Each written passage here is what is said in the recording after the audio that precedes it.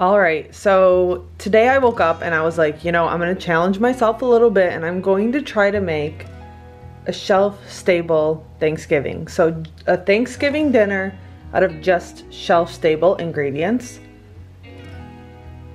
So I'm not exactly sure how I am going to do this, but I think that I'm just gonna take three pots and start cooking all of this up I do have some boneless turkey. I think I'm gonna add it into a gravy. Of course, I have the best Hawaiian sweet rolls that exist. So I'm gonna keep it super simple. I'm going to use some butter but you could use some ghee if you like really had to keep this shelf stable. But I'm just using this opportunity to get a little bit creative and kind of thinking outside of the box. If I was in an emergency situation, would I still make Thanksgiving dinner? And if so, how I would do it for me and my husband. So let's get to it. All right, I'm gonna start warming both of these up and now I'm gonna try to figure out what I'm going to do. To this, I'm adding one and a half cups of water. I'm also adding in a quarter cup of butter. You can use ghee if you want to. And I'm adding four cups of water to my cast iron Dutch oven. Now I'm going to let this come to a boil and then these two things will pretty much be done. This is going to go so quickly today.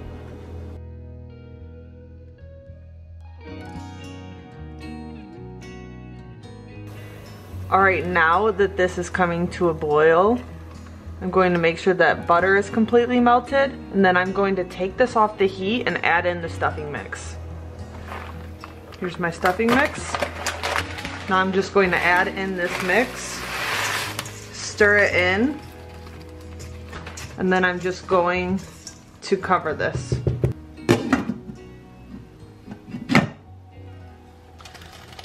While this water's continued to come up to a boil, I do have my corn over here heating up.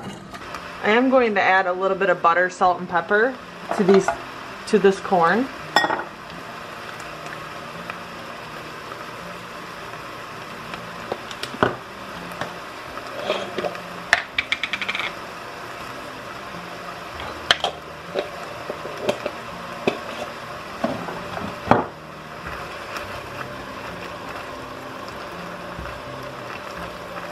And then I'm just going to pull this off the heat, add it to a serving dish, and do the same thing with my green beans. You can season your vegetables however you would like to.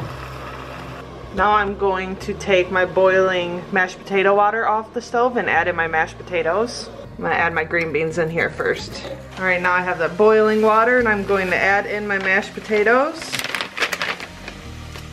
Whoa.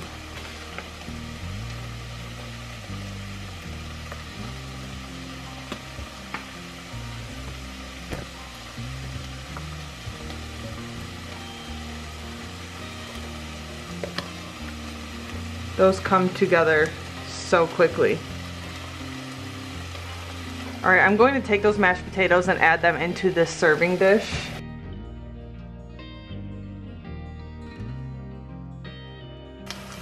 So in this front pan, I'm going to take that boneless turkey. I'm going to add that into this pan on medium heat. I'm just gonna let this heat through. I'm going to add my green beans to the serving dish while that heats up.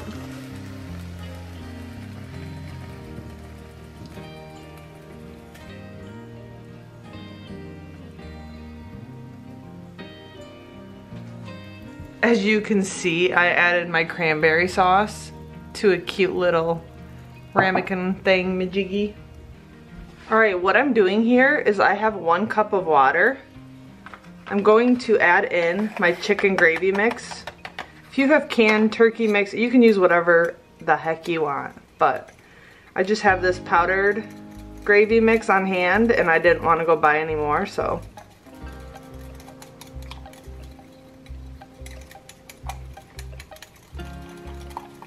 So I'm just gonna whisk this up with my mini whisk and then I'm just going to add this to this pot and I'll have like a turkey gravy and that'll be my turkey.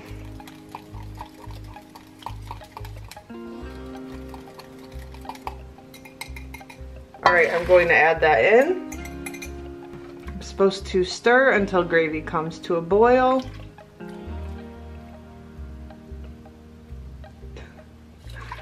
This canned turkey doesn't look the best, but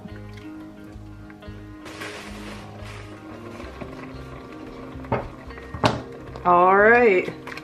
Wow, it has been 22 minutes since I started and this all came together so quickly.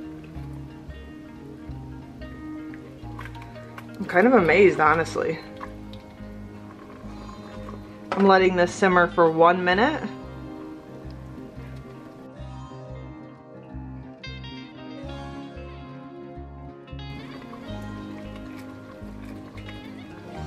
All right, now I'm going to add this to a serving dish and we are all finished.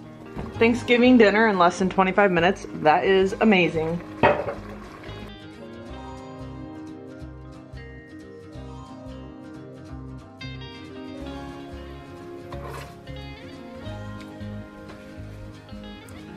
All right, does anyone else cover their dishes with plates that are warming up? Look at the mess that I made. This came together so quickly that I didn't have any time to throw anything away, so we're just gonna pretend like that's not there. it's real life over here.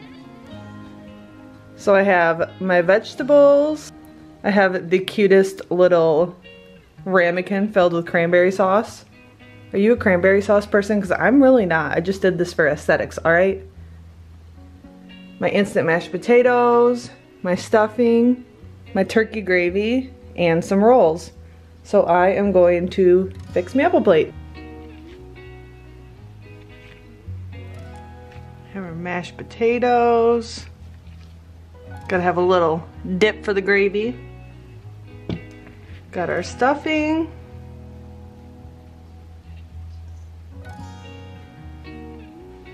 I have my roll. Now if you can heat your rolls up, make sure you do that but we're trying to keep this shelf stable.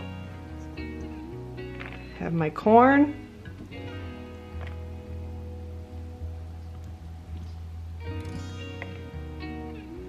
And my green beans.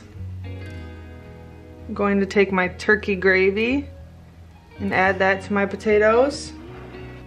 And I'm also going to add in a little bit of that cranberry sauce just so I could try it out. Oh wow, that actually does taste amazing. So here is a shelf stable Thanksgiving in less than 25 minutes. I'm pretty proud of myself. All right, I'm going to do a little final thoughts. Why I make like these little casseroles with the leftovers. This actually turned out really delicious. In an emergency situation, like this would hit the spot. So like in a situation where your power's out or something and you're just like trying to celebrate a holiday like Thanksgiving, like yes, you could do something like that. Is it practical? Mm, I'm not really sure. but this was a really fun experiment. So what I'm doing with these is I'm going to do a layer of mashed potatoes, then I'm going to do a layer of green beans, then stuffing, then the turkey gravy over top, and then I'll just reheat these for like lunches or a dinner later on. I'm just gonna put these in the freezer. The hard part about shelf stable meals is everything is just so sodium dense.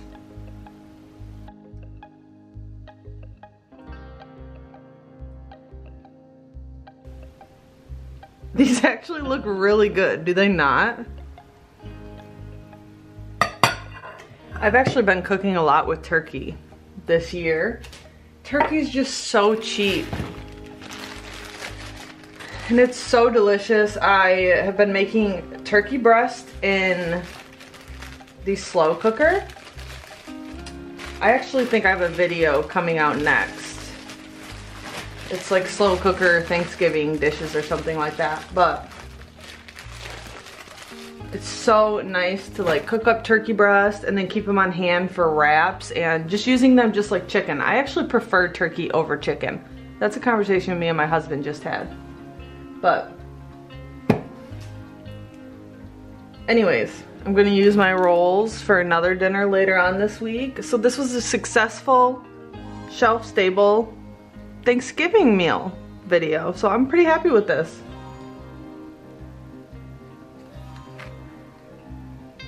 I'm gonna let these cool down before I add them into the freezer.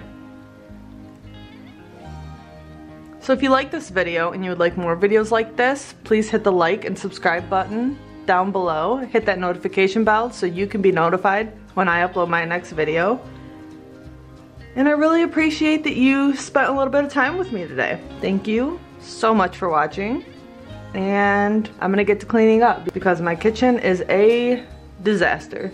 All right.